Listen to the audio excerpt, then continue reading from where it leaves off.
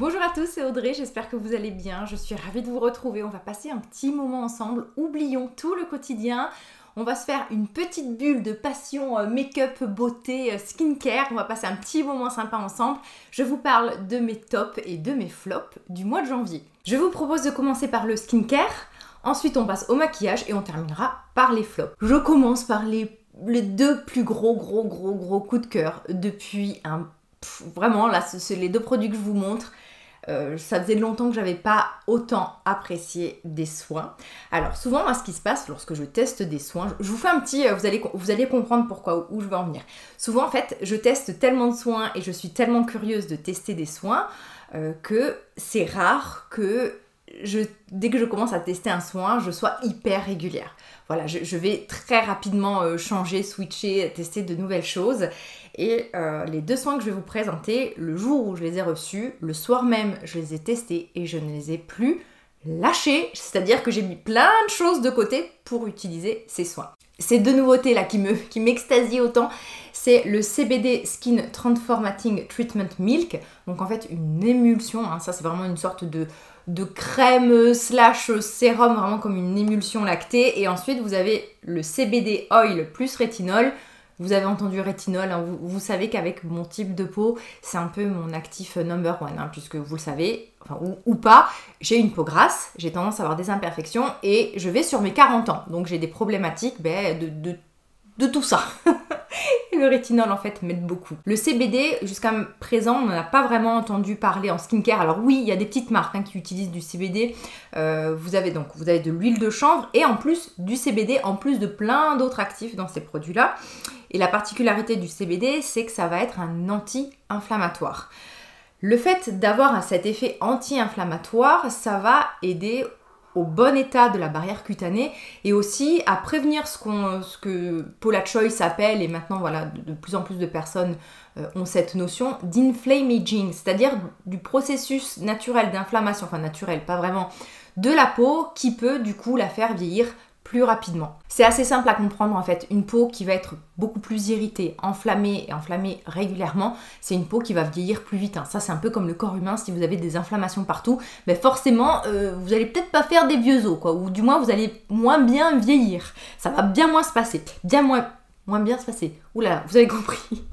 Alors le premier euh, produit, c'est donc euh, cette émulsion. On est vraiment sur une émulsion lactée très légère, mais à la fois, alors c'est ça qui est, moi déjà qui m'a plu tout de suite, c'est que c'est à la fois léger, mais euh, suffisamment nourrissant et hydratant pour se suffire à lui-même quasiment, mais vraiment quasiment. C'est-à-dire que selon votre type de peau, euh, ce, lait, vous allez pouvoir l'utiliser tout seul sur la peau. C'est simple, moi j'ai une peau grasse, je peux très bien le matin lorsque je fais ma routine de soins utiliser un ou deux sérums avant, par exemple peut-être un toner hydratant, un sérum, euh, un à la, à la, vitamine C, un sérum à la niacinamide ou n'importe quel autre sérum. Et ensuite, ce soin-là, et une crème solaire parce que j'ai un type de peau plutôt gras. si vous allez avoir une peau sèche, ça va très bien pouvoir s'intégrer en tant que sérum, à la fois hydratant, anti-inflammatoire, apaisant. Parce que à l'intérieur, vous avez cette présence euh, d'huile de chanvre en plus qui est super parce que c'est une huile qui contient beaucoup euh, d'oméga 3, 6, 9, il y a même d'autres oméga 3 et ça aide en fait à la production notamment des céramides. Les céramides, c'est des composants de notre barrière cutanée qui fait qu'on a une barrière cutanée saine. Avoir une peau saine, c'est pour ça que, vous voyez, le fait d'accumuler trop d'actifs, moi je vous dis toujours, allez-y doucement, n'intégrez pas tout en même temps, parce qu'en fait, le fait d'irriter sa peau, eh bien, ça lui fait plus de mal que de bien. Donc là, on est vraiment en fait sur un soin qui va à la fois bah, traiter les inflammations, qui va apaiser, qui va hydrater, légèrement nourrir, et qui va avoir en fait ce bénéfice un peu de prévention anti-âge. Depuis mon épisode de dermite l'hiver dernier, j'ai toujours des rougeurs à ce niveau-là. Donc c'est vrai que dans ma routine, il y a toujours des produits apaisants à base de santé là, à base, enfin bref, des sérums apaisants. Et parfois l'effet apaisant, il est, oui, il est là, mais il manque toujours un petit quelque chose. Et bien là, pour la première fois, j'ai l'impression de sentir ma peau réellement apaisée et à la fois rebondie et plumpée et hydratée. Je suis mais ultra emballée. Alors, le seul bémol, c'est que je pense que c'est un produit qui peut se terminer rapidement. Les produits Paula Choice ont un certain coût. Alors, vous, ce qui est bien, c'est que derrière, il y a une recherche et il y a de l'efficacité. Parce qu'il y a plein de marques, il y a plein de produits qui sont hyper chers. Vous n'avez pas forcément l'efficacité derrière. Là, vous, vous en avez pour votre argent quelque part. Le seul, voilà, le seul petit bémol, c'est que je pense que c'est un produit qui peut se terminer rapidement parce que selon votre type de peau, vous allez vouloir en mettre beaucoup parce que c'est fluide, c'est agréable et on a envie de s'en tartiner. Franchement, il n'y a pas d'odeur, tout ça, ça sent un peu l'huile de chanvre, mais malgré le fait qu'il n'y ait pas cette sensorialité olfactive, vous avez une texture hyper agréable, fondante sur la peau et je vous dis, j'en suis accro, c'est-à-dire que je l'utilise tout le temps et j'ai pas envie de tester autre chose. Donc pour moi, ça c'est un signe voilà, de, que le produit me convient parfaitement et que c'est un coup de cœur. À l'intérieur, vous n'avez pas que de l'huile de chanvre, hein. vous avez de l'huile de bourrache, de l'huile de tournesol. Bon, ça, le tournesol, allez, c'est pas l'huile la, plus précieuse du monde. Du jojoba, de la glycérine, du squalane, de la centella asiatica, donc pour l'effet apaisant, des phospholipides qui vont venir en fait relipider et euh, un peu aider à avoir une barrière cutanée euh, saine, à éviter aussi la perte insensible en eau, donc d'avoir de la peau déshydratée. Euh, vous avez des extraits ensuite de plantes, du panthénol, donc ça c'est la vitamine B5 encore apaisant. Donc je veux dire, il n'y a pas que l'extrait de CBD, il y a encore plein d'autres choses qui font que ça va toujours dans ce sens-là de l'inflammation, plus plein de petites choses à côté. Donc voilà, premier coup de cœur. Et le second, c'est l'huile au rétinol plus CBD, CBD plus rétinol. En fait, ce qui est intéressant, c'est que le CBD va aider à contrebalancer en fait l'effet potentiellement irritant du rétinol. Alors, et là, j'ai envie de vous, faire une petite parenthèse. Ça ne sert à rien d'utiliser un actif hyper irritant et à côté un million de produits pour contrebalancer cette irritation. Ça, c'est un non-sens. Si vous êtes irrité par un actif, un produit, vous l'arrêtez, vous l'espacez, vous faites ce que vous voulez, mais vous n'utilisez pas un milliard d'autres produits pour éviter cette irritation-là. Si un produit vous irrite, c'est que c'est pas bon pour votre peau. Et on a eu en fait une conférence de, presse euh, pour nous présenter euh, du coup les produits, tout ça. Et à un certain moment, donc Paula Begoun, la, la créatrice de cette marque, est dans ce sens-là et nous a dit ça. C'est aberrant qu'on utilise 50, 50 euh, produits pour contrer l'irritation d'une autre. Donc là, le but, c'est pas euh, d'utiliser du rétinol tous les soirs, d'avoir la barrière cutanée complètement abîmée et à côté d'utiliser, euh, d'utiliser plein de choses qui vont aider à réparer. La forme huile de ce produit fait que déjà on en met très peu. Hein. parfois avec une émulsion, je pense notamment, moi j'utilise le traitement 1%, c'est un peu une texture un peu sèche et on peut avoir tendance à en mettre de trop, donc qui dit trop de produits dit encore potentiellement plus d'irritation. Là vraiment 2-3 gouttes suffisent pour faire tout le visage. Le contour des yeux, c'est à vous de voir si vous allez l'utiliser sur cette partie-là, hein. tout est question de, tolérance. Et vous avez en fait... Ben, encore une fois, ce, CBD qui va éviter ou du moins diminuer l'effet irritant du rétinol.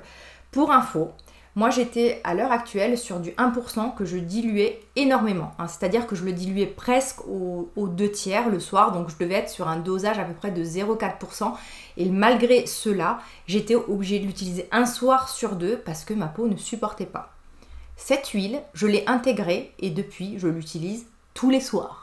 En fait, je pense que clairement la formule de ce produit, peut-être que je le dose mieux, peut-être que la formule fait que j'arrive à le tolérer tous les soirs.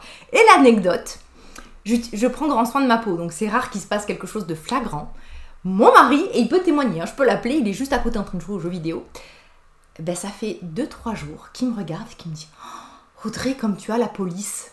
Je crois que ça fait 11 ans qu'on est ensemble, c'est la première fois avec tous les trucs que je fais pour mon visage qui me fait un compliment sur mon grain de peau. Donc euh, voilà, énorme coup de cœur. Autre parenthèse, si vous n'avez jamais testé de rétinol, ne commencez peut-être pas par ce produit parce qu'on est quand même sur un dosage de 0,5 et on peut trouver des produits moins dosés à 0,2, à 0,3. Hein. Moi, j'utilise du rétinol depuis des mois. Donc ce que je fais, c'est parce que j'ai beaucoup de recul, tout ça. Donc ne copiez pas bêtement entre guillemets, mais je sais que vous êtes pas, euh, vous êtes des personnes qui, qui qui comprennent. Je pense que j'ai une communauté très intelligente et qui ne fait pas n'importe quoi.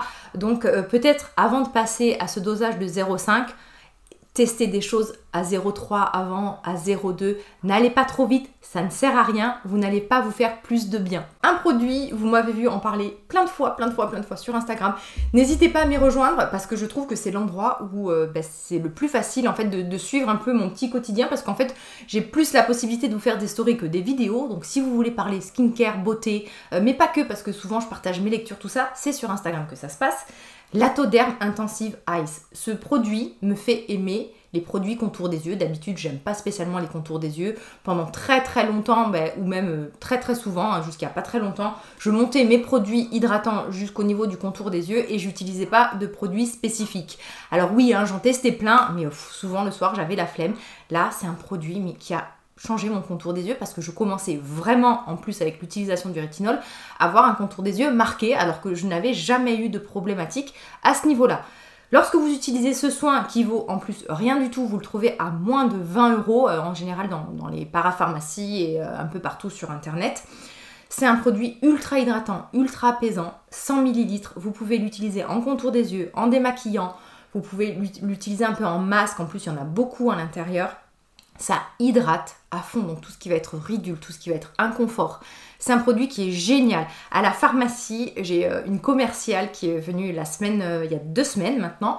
Et euh, voilà, problématique de contour des yeux, tout ça. Elle représentait une marque noire et blanche, vous la reconnaîtrez, assez chère, et elle ne jurait que par cette marque. Non, non, non, je fais tout bien, j'ai ça, j'ai ça, j'ai ça. J'ai dit, écoute, teste ce contour des yeux, et, et tu vois, regarde, ça vaut moins de 20 euros, teste-le, au bout de deux jours, elle m'a envoyé un message pour me dire que son contour des yeux avait complètement changé en deux jours. Mon amie Sarah aussi, qui était réticente parce qu'elle aimait pour elle les produits parapharmacie, des fois ça a un petit côté ennuyeux, eh ben elle l'utilise depuis peu et pareil, en quelques jours, elle a retrouvé un contour des yeux là où elle utilisait 4-5 produits euh, contour des yeux. Donc énorme coup de cœur et le combo qui tue de la mort qui tue, c'est ce produit-là. En dessous, vous mettez une essence hydratante. Donc vraiment, vous apportez plein d'eau. Hein. donc euh, essence hydratante par exemple, la Premium d'Ada Labo. Vous allez vraiment apporter plein ce qu'on appelle des humectants, donc de l'eau, de l'acide hyaluronique, euh, de la glycérine. Et vous allez venir sceller avec ce produit-là. Quand je dis sceller, imaginez un peu que votre eau, vous allez l'emprisonner dans votre peau et elle va y rester et ça vous fait vraiment un contour des yeux hyper lisse, hyper hydraté. Franchement, en anti-âge, ne vous embêtez pas trop. Hein. Déjà, l'hydratation sur du contour des yeux, ça peut faire toute la différence. Après, si vous tolérez du rétinol, de la vitamine C, pourquoi pas, mais juste des voies d'avoir de l'hydratation, c'est largement suffisant. Côté produit hydratant, alors j'ai vraiment apprécié cette crème de CeraVe, c'est la crème de nuit. C'est la version américaine. En France, elle n'est pas présentée comme ça. J'essaierai de vous mettre une petite incruste euh, écran ici. De par ma peau grasse, les crèmes hydratantes, bon, bah, pas que j'avais pas de plaisir à les utiliser, mais souvent c'était pas la peine. Hein. Moi, je mets deux sérums, c'est bon, ça suffit, ma peau est hydratée. Enfin, est hydratée voilà, elle, n'arrive pas à absorber plus parce qu'elle produit du gras. Donc euh, bon, c'est vrai que même si j'ai la peau à tendance déshydratée, je ne peux pas cumuler trop de produits et souvent ben, je zappe l'étape euh, euh, crème hydratante puisqu'en fait le jour je mets un indice de protection en guise de crème de jour, de crème hydratante. Et euh, ça fait quelques temps que j'utilise cette crème-là de CeraVe et je l'adore. C'est-à-dire que par exemple, les jours où j'ai pas besoin de mettre de protection solaire, je vais l'utiliser avec plaisir. C'est ce que j'ai fait aujourd'hui puisque je vais pas sortir, je vais pas être du tout exposée euh, même à la fenêtre aujourd'hui. Bon, il fait pas très beau, je filme donc devant moi c'est fermé. Et eh bien aujourd'hui, ma routine, ça a été mon petit CBD. Alors j'ai mis un peu de vitamine C ce matin, voilà, mon petit sérum à la vitamine C, mon petit CBD et cette crème-là que je mets sur tout le visage, qui n'est pas grasse du tout, qui hydrate bien, qui est super agréable en texture. Cette crème-là, elle peut être très très bien. Imaginons si vous commencez le rétinol, que vous trouvez que votre produit est un peu trop irritant, pour le diluer, ça fonctionne super bien. Vous cherchez une crème hydratante basique pour vos ados, pour vous, pour n'importe qui, pas cher, celle-ci est vraiment très bien, trouvable en pharmacie et, euh, parapharmacie un peu sur le net. Franchement, bravo. Alors CeraVe, vous allez voir, j'ai pas que des tops dans cette marque-là, mais je veux vraiment souligner cette crème-là qui est super. Niveau de la texture, très très bien formulée, même pour des peaux grasses, du moment où vous êtes un peu déshydraté, très très bien. Côté soins, ça fait quelques temps que j'utilise cette mousse nettoyante de la marque Atopalm. C'est une marque de K-Beauty, je l'ai achetée sur euh, euh, ou sur iHerb? Bref, on s'en fiche où je l'ai acheté. Et c'est vraiment une huile, mais chantilly, qui mousse, mais qui est douce à la fois. Hein, parce que souvent, ben, voilà, le fait que ça mousse beaucoup, ça peut être signe qu'il y a beaucoup de détergent et ça peut être euh, de tensioactif et que ça peut être irritant. Mais là, vraiment, le format mousse comme ça, j'ai l'impression de me nettoyer avec euh, une chantilly.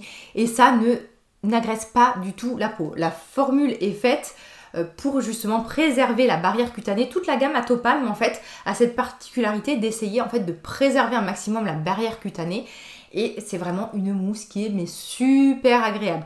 Alors je l'utilise même le matin. Vous savez moi le matin j'utilise plutôt des nettoyants euh, un peu sous forme de crème ou euh, qui moussent très très peu parce que je veux ma peau n'est pas très sale et je veux quelque chose de très très doux.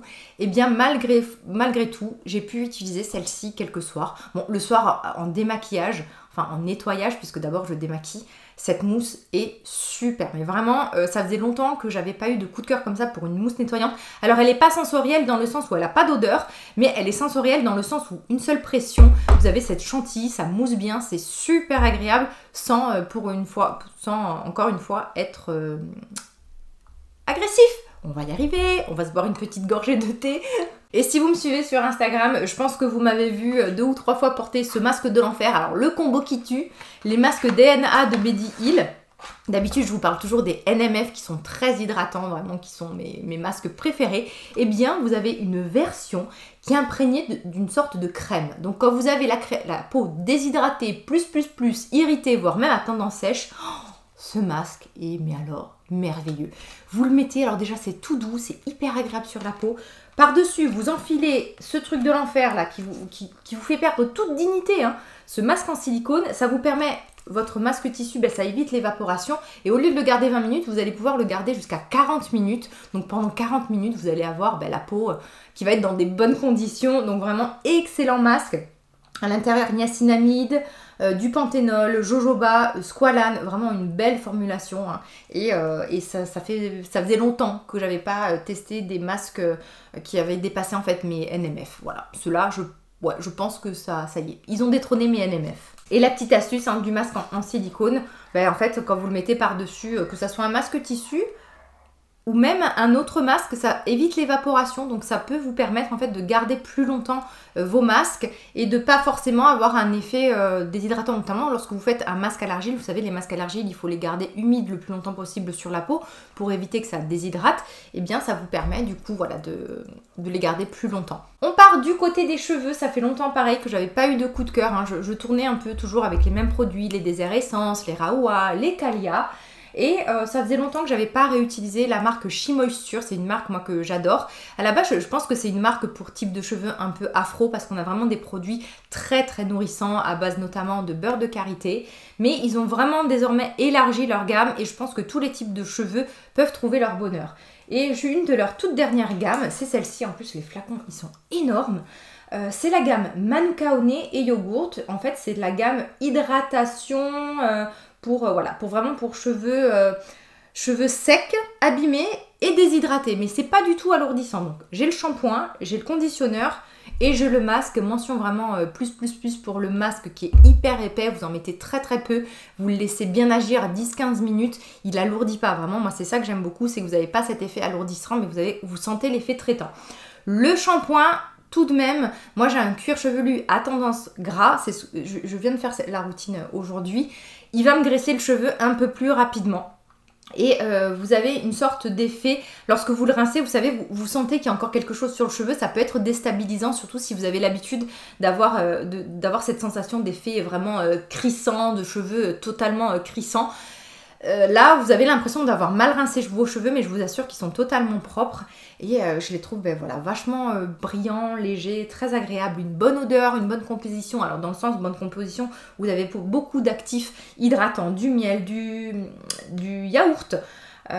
plein du panthénol, de la noix de coco, c'est vraiment des, formules, moi je trouve à chaque fois super bien, super bien. Dans le shampoing, vous n'avez pas de, bien sûr de silicone.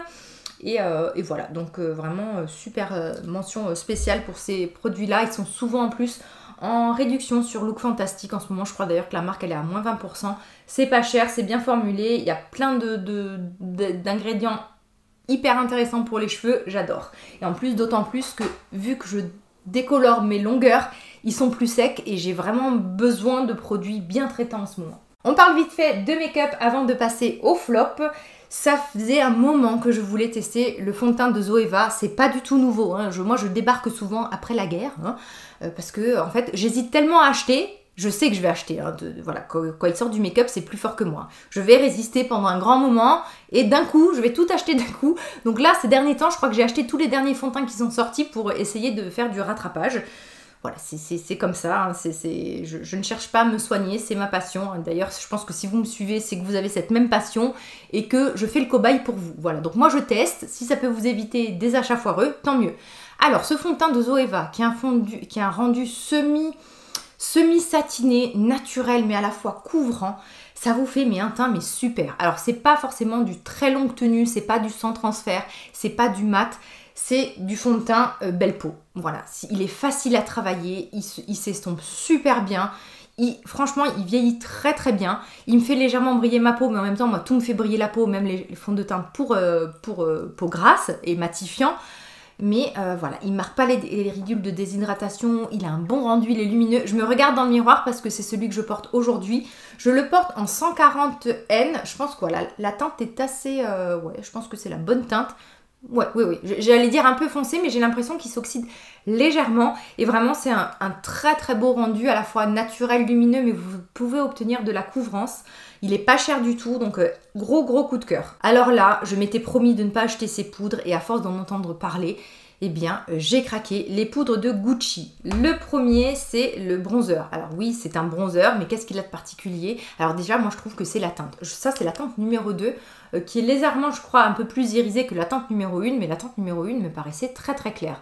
Et en fait, ce que je trouve, c'est que c'est le bon compromis pour mon type de peau entre un bronzer un peu rouge qui fait effet euh, bonne mine soleil et un bronzer un peu froid qui fait contouring. Donc franchement, parce que ça m'arrive souvent en fait de mettre deux bronzers, un pour creuser et un un peu pour euh, voilà sculpter, donner bonne mine, avoir l'effet euh, coup de soleil.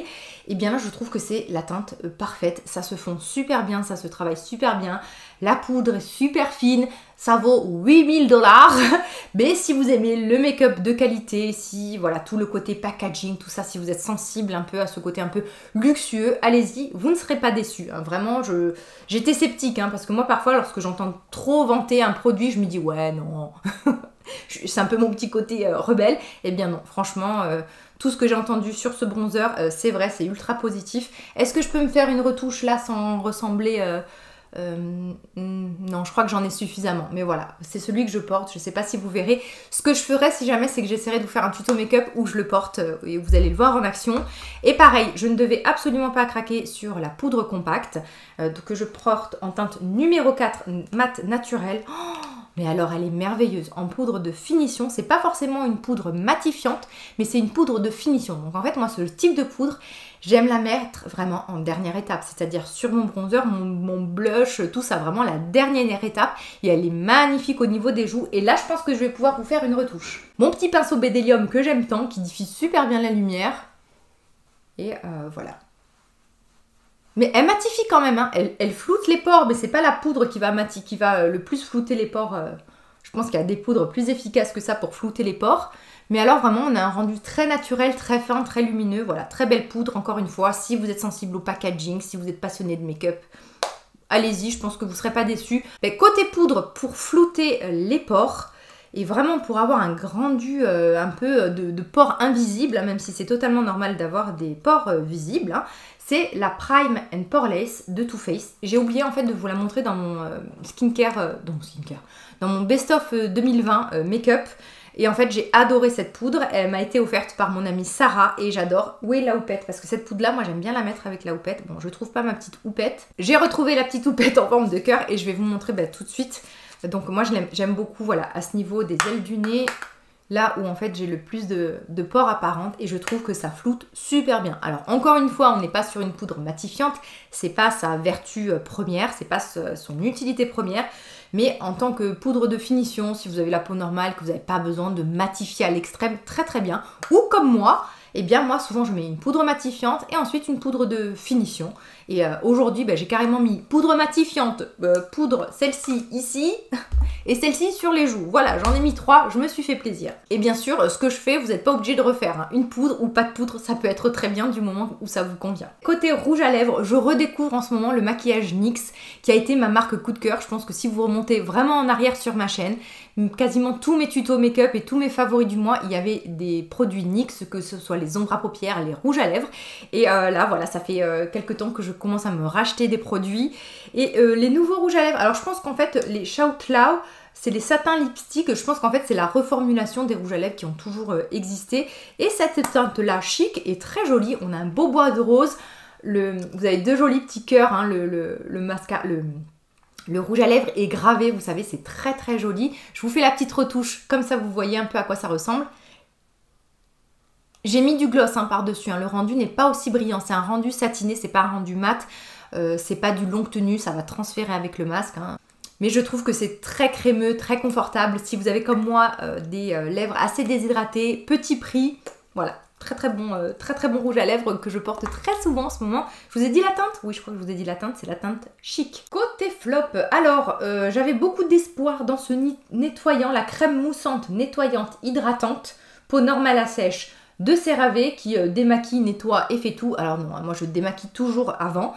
Eh bien, ce produit, malgré la réputation qu'il a, sur moi, ça n'a pas du tout matché et j'ai été super irritée. Alors moi, quand je fais des, irritations au nettoyant ou au produit en général, ça se passe vraiment à ce niveau-ci. Hein, vraiment, tout le contour des yeux est très très rouge dans ces cas-là. J'ai essayé plusieurs fois, parce que la première fois, je me suis dit, oh, c'est à cause de mon rétinol, oh, c'est à cause de ci. Non, non. Euh, au bout de 5 utilisations à être toute rouge, je me suis dit, bon, ok, le produit te convient pas, euh, passe ton chemin. En fait, maintenant, je l'utilise sur les mains. Euh, euh, ou, sur les mains. voilà, c'est devenu mon nettoyant main. Mais sur moi, ça a été un flop et je sais que malgré, enfin, beaucoup de personnes aiment ces nettoyants, les trouvent très très doux. Moi, ça n'a pas matché. Comme quoi, il faut toujours essayer, hein, parce que encore une fois, ce n'est que mon avis. Autre méga déception, j'avais envie d'un baume démaquillant et j'avais envie de trouver un baume démaquillant en parapharmacie pour pouvoir ben, le conseiller à la para et aussi pour vous en parler parce que j'aime bien vous parler maintenant de plus en plus de produits de parapharmacie. Et j'ai voulu tester le baume en huile démaquillant de l'Irak. Franchement, sur le papier, euh, vraiment le, packaging rose, la texture super belle rose. Je sais pas si vous verrez avec euh, les lumières devant, mais c'est vraiment une belle texture euh, baume, pas trop grasse, un joli rose bonbon, tout ça. Sauf que le produit, vous avez beau, vous le travaillez, hein, tout, va bien, hein, ça, ça va enlever le maquillage. Ça le dissout, mais on sent qu'il y a mieux, vous voyez. Mais alors, quand vous le rincez, là, il y a un couac, ça ne s'émulsionne pas du tout. Et en fait, ça vous fait des, paquets, des, amas de, de, matière. Donc, c'est du gras avec du, maquillage et ça ne matche pas du tout. Alors, j'ai essayé, je me suis dit, encore une fois, le jour où j'ai testé, je me suis dit, bon, ok, c'est mon fond de teint euh, euh, qui était. Euh, j'étais trop maquillée, c'est mon fond de teint qui était si. mais bon, en même temps, tous les autres produits démaquillants que j'utilise, ça me fait rarement ça, quoi.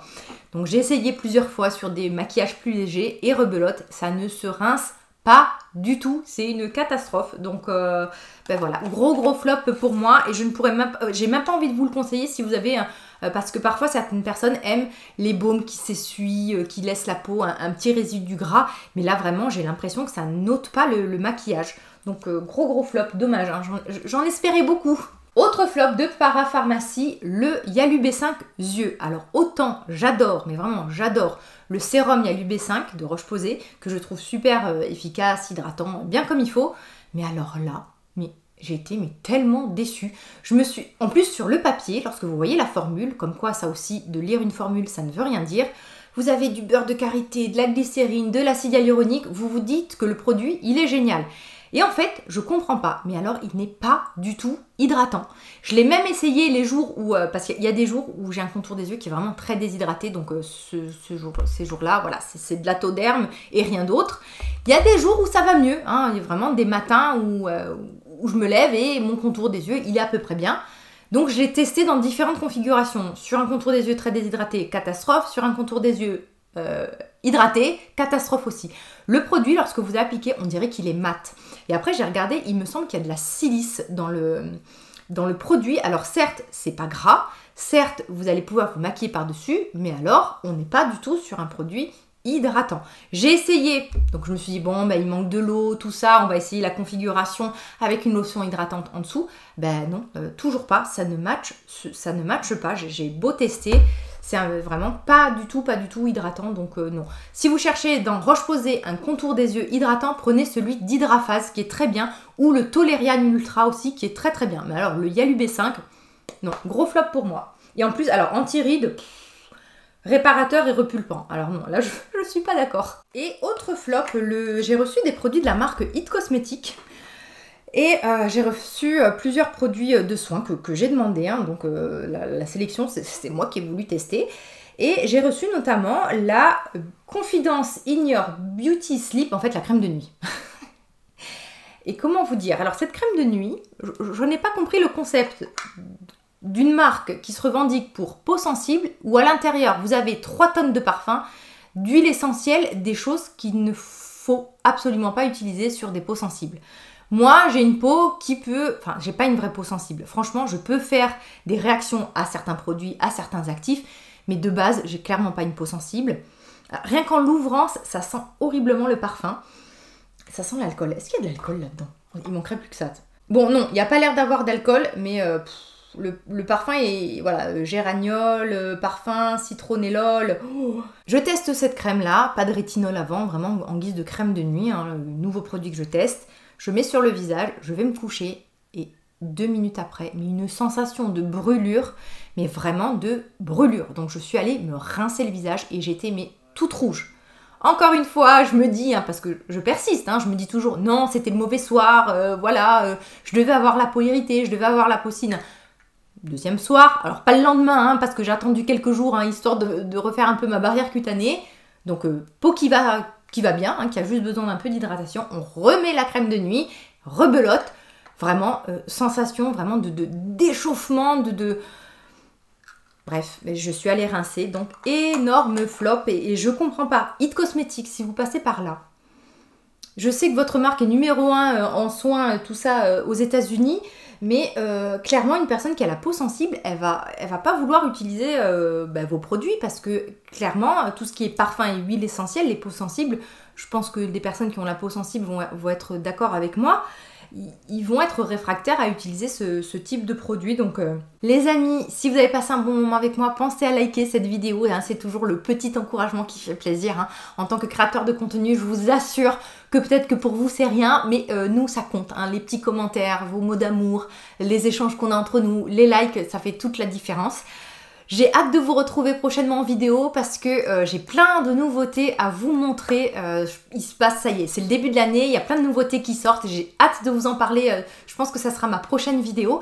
Sinon, on se retrouve tous les jours sur Instagram. Vous me retrouvez avec le pseudonyme Bayreo, hein, ça ne change pas. Je vous fais d'énormes bisous. Prenez bien soin de vous. À très vite. Bye bye.